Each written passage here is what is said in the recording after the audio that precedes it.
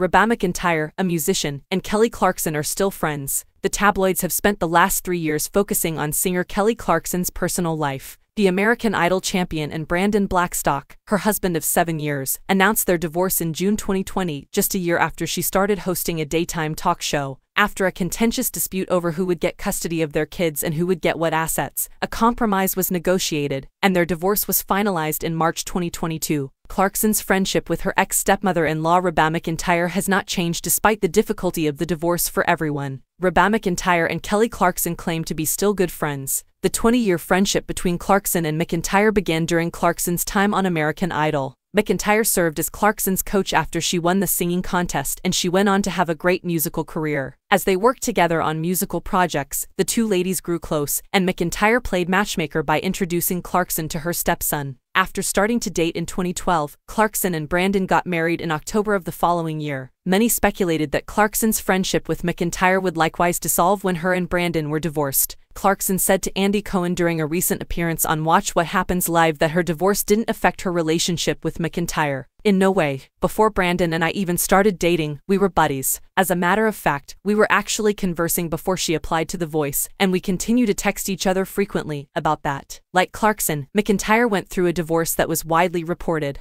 After 26 years of marriage, McEntire and Narvel Blackstock divorced in 2015. Although they are both recovering from difficult circumstances, Clarkson claimed that McEntire and her divorce made them more compatible. I believe that we are both sensible ladies who are aware that life doesn't always go as planned. I mean, she would have the most expertise. It is identical in every way. Therefore, there are no hard feelings there, only feelings.